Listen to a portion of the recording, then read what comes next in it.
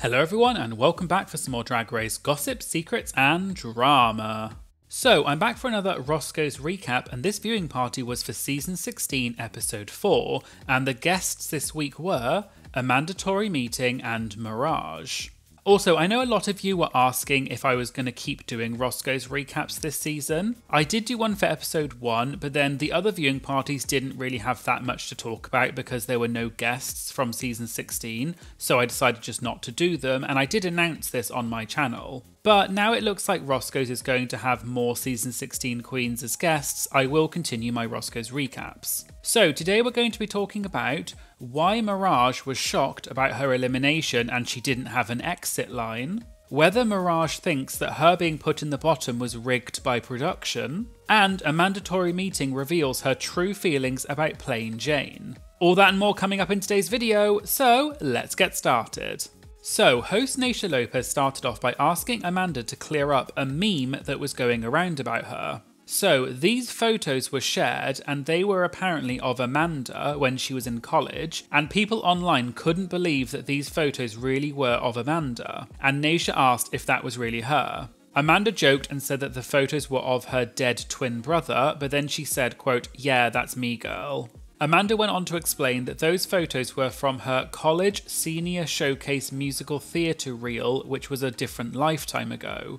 And just as some extra information that happened after Roscoe's, I saw on Twitter yesterday that Amanda came out as trans in an interview with Entertainment Weekly. And Amanda said in the interview that she got divorced because her ex spouse wasn't supportive of her gender journey, and when they filmed season 16, it was only about five months after her divorce, so she was still in her healing process at the time. Amanda also said she's not really interested in people who want to hook up with her based on what she used to look like, and since transitioning, she feels much more confident in her own skin. And I'm sure I speak for everyone when I say congratulations to Amanda. Back to Roscoe's, and host Batty Davis then brought up the Rate-A-Queen twist that happened at the beginning of the season and asked how the Queens felt about it. Mirage said she rated the Queens from her premiere group as the first seven because she's loyal and she knew all of them. And even though Nymphia, in her opinion, did the best in the ball, she put her eighth because she wanted to prioritise the Queens from her premiere. And Amanda said the reason she put Q number one instead of Nymphia is because Q helped Amanda finish her outfit for the ball. Host Caramel then asked if they were surprised when they found out how people voted in the Rate-A-Queen, and it's implied that they were referring to Plane Jane, who flipped the voting on its head and put the top queen at the bottom and vice versa and Amanda put on a high-pitched voice and said, quote, "You know, I think everyone probably voted the way that they would be expected to," and everyone laughed.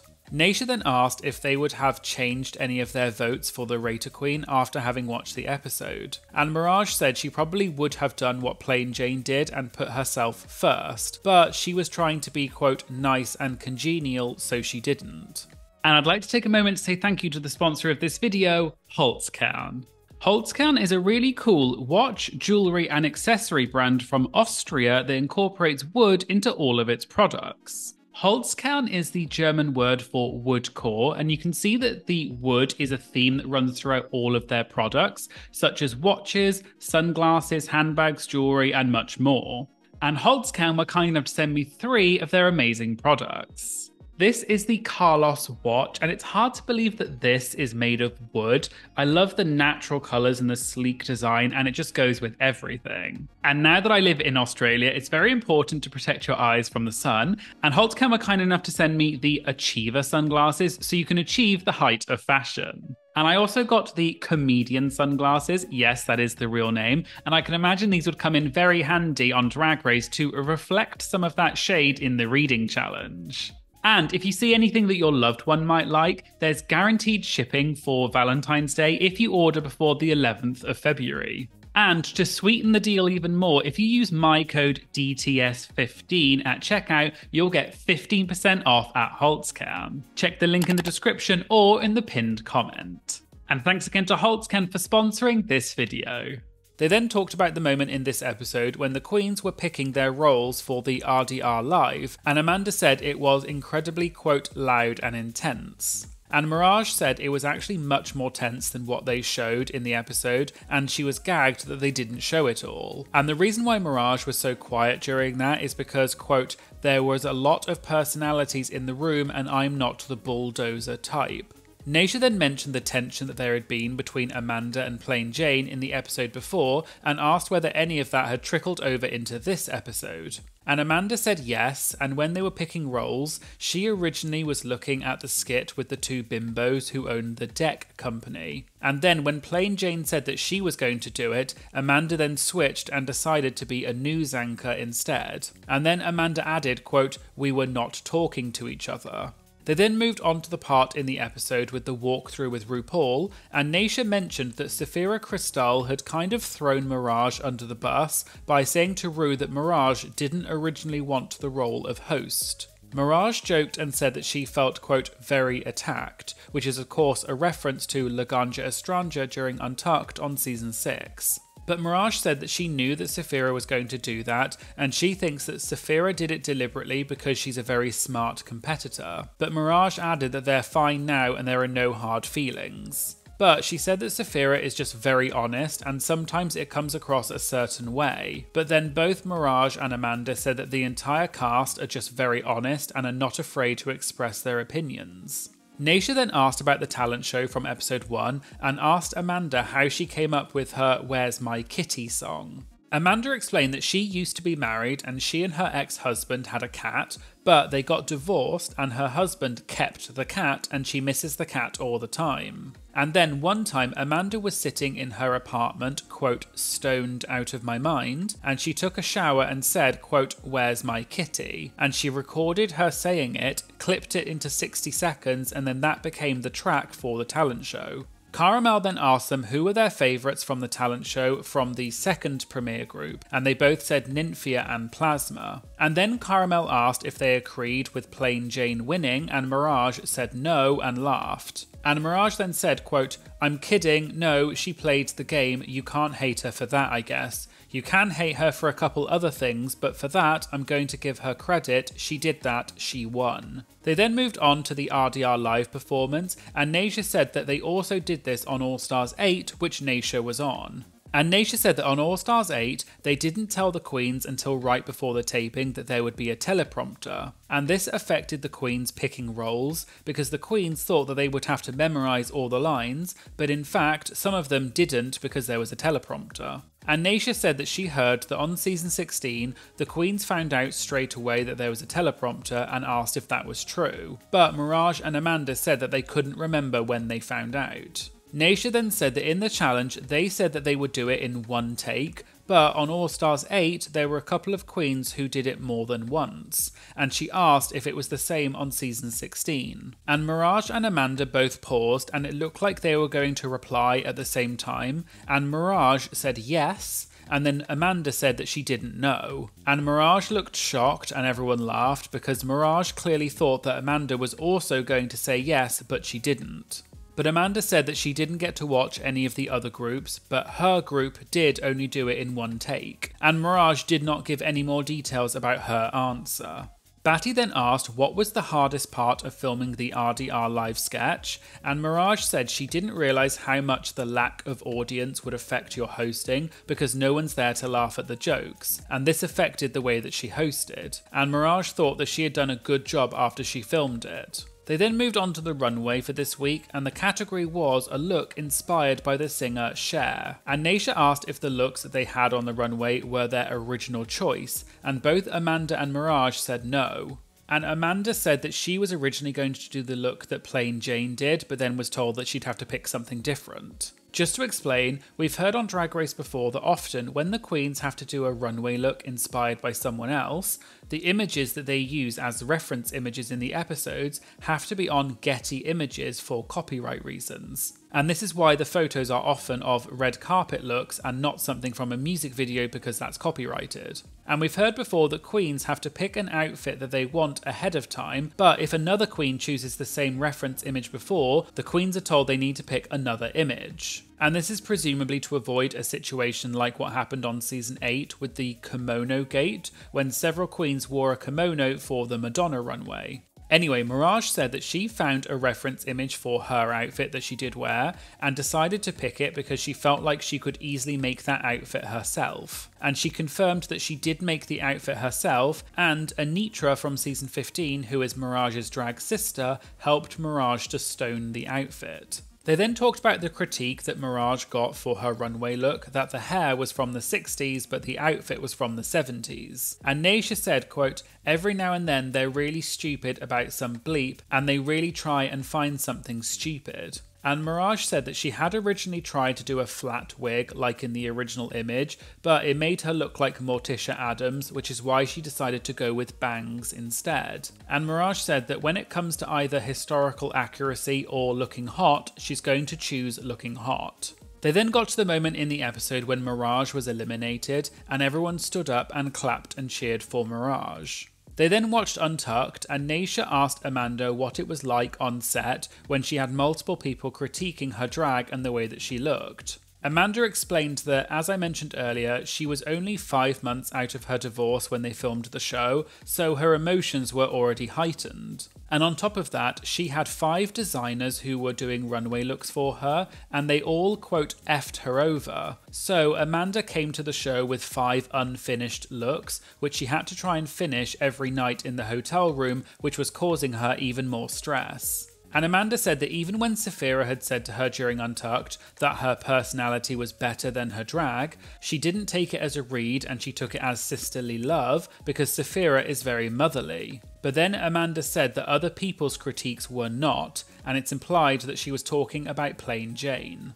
They also talked about the moment in Untucked when the previous feud between Amanda and Plane Jane was brought up again. And Naysha said that she can understand why Plane Jane apologised and then said that she didn't want to keep apologising. But she also felt like Amanda still wanted to let Plane Jane have it and talk about it again. And Amanda said she didn't care enough about Plane Jane in that moment to let her have it, and Amanda was just there for herself and she didn't care what Plane Jane thought about her. Naysha also asked whether the other queens were kind of instigating the situation and getting Amanda and Plane Jane to talk. And Mirage said no and said that she was surprised that they were still talking about it, even though the argument had happened days earlier. And then Mirage joked and said, quote, Okay girl, we know she's ugly, get over it. And everyone laughed, including Amanda. And Amanda said about Plane Jane, quote, Damn, if you're going to call me ugly so much, just come over and help. And Batty made the observation that when Amanda first came into the workroom on the first episode,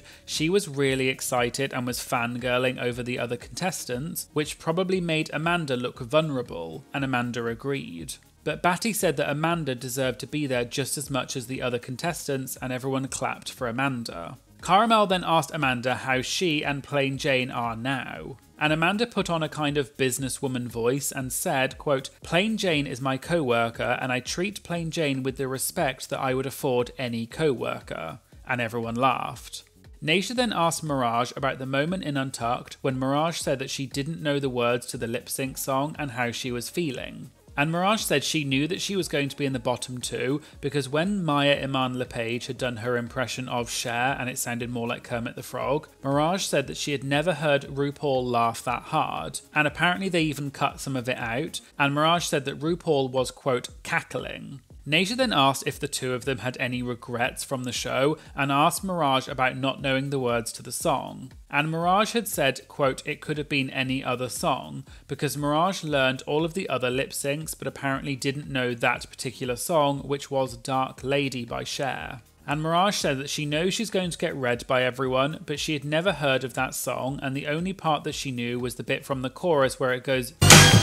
Caramel then said that Naysha had previously brought up a good point that on Drag Race, the mics are always on, even when they're backstage. And Caramel asked Amanda if she thought that because Mirage had said during Untucked that she didn't know the words to the song, does she think that that's why Mirage was put in the bottom? Amanda said that she couldn't speak to that, but when they were backstage and Mirage said to Amanda that she didn't know the words, Amanda apparently said, quote, Girl, you're mic'd, shut the F up. And Mirage laughed and said that she kept forgetting that she was on TV and she was just having fun. Mirage also said that she did know the first two verses of the song, but for that part they showed Geneva, and then Mirage made a funny face, and Amanda said, quote, sabotage, and everyone laughed. Naysha also said that at one point, Ross Mathews had quoted something back to one of the queens that they had said backstage, and Naysha said, quote, You're not safe back there, and everything you say is noted. They then moved on to the Q&A, and someone asked Mirage if she would ever go back for an All-Stars. And Mirage said it definitely would not be a no because she feels like she didn't do that well the first time and she'd like to go back to prove herself. But she wants to leave it for a while so she can grow and get more experience. An audience member then asked if Mirage regretted not having an exit line because in the episode Mirage was crying and just walked off stage and didn't say an exit line. Mirage joked that she didn't prepare an exit line because she was not prepared to leave. But Mirage said that even if she had had an exit line, she just wanted to get out of there because she was crying and, quote, it was so embarrassing because she hates crying. Mirage also said that she didn't realise that that would be the last time that you get to speak to the other queens, and when you walk off stage, that's the last time you see them, and Mirage said that she was, quote, gagged. But Mirage said, quote, that kind of hurt my feelings, I literally have to go back home and like stew on this for a year. Another audience member then said that Amanda had been getting a lot of hate from Plane Jane over the episodes, but asked who on the cast was the most supportive of Amanda's growth. And Amanda said, quote, I would say everyone except for her, and everyone laughed. And Amanda said that it was a very supportive atmosphere whenever she and Plane Jane were far apart. And then finally, an audience member said that with Plane Jane's introduction into Drag Race, there has been a lot of talk about what qualifies as shade and what qualifies as mean, and they asked the queens what their thoughts were on this topic. Amanda said it's all about nuance, and in the moment when Plane Jane criticised her in Untucked, she and Plane Jane didn't have any kind of relationship, so it just came off mean rather than sisterly. And the situation and the delivery are also important. Mirage then said, quote, there has to be a joke. And Amanda said it's okay for something to be mean as long as it's funny. And Amanda also said, quote, just saying the meanest thing you can think of in that moment is not necessarily funny. Batty then said that she wanted to hear from one of the shadiest queens that she knows, and she looked over at Naysha. And then Naysha pretended to look over her shoulder as if she didn't know who Batty was talking about, and everyone laughed and cheered. Naysha then said it's really simple for her, and she said in her opinion it's all about timing. And Naysha said, quote, there's a time and place for everything. If Plane Jane would have said that at a different time, where the conversation was open to criticism, it would have been received differently. Naysha also said you need to know when it's okay to throw shade and when we're being serious. And when Plane Jane said what she said, it was not the right time and it came across as, quote, hateful. So there you go, there was my Roscoe's recap for season 16, episode 4. Let me know in the comments what you thought about Mirage's elimination this week. And who are you rooting for in season 16? And thanks again to Holzkern for sponsoring this video. If you use my code DTS15 at checkout, you'll get 15% off at Holzkern. Check the link in the description or in the pinned comment. And I'd like to give a shout out to all of my amazing Patreon members. And in the Euro Winner Baby tier, we have Christian, Emerald1508, Ethan, Lisa, PC Smush, and Rochelle. And in the Shantay You Stay tier, we have Amy, Becky, Charlie, David, JJ, Kylie, Linda, and Craig. Thank you so much to my patrons. You're all incredible, and your support really does make such a difference to my channel. So, thank you so, so much for being part of my community. And if you'd like to get early access to my videos such as this one, as well as a raft of other benefits, please consider joining my Patreon and supporting my channel, and I'll put a link in the description. Please make sure you like, comment, and share this video as it really helps support my channel. And of course, please make sure you hit the subscribe button to stay up to date about new uploads. Thanks again for watching and I hope you'll join me again in future videos. Thank you, bye!